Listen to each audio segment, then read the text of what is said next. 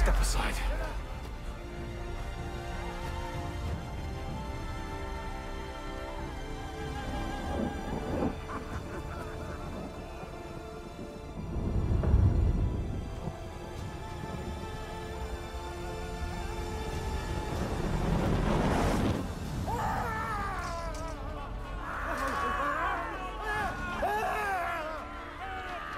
We must go.